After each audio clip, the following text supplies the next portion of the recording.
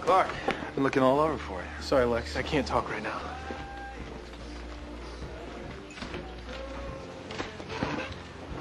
Looks like we've been abandoned. Story of my life.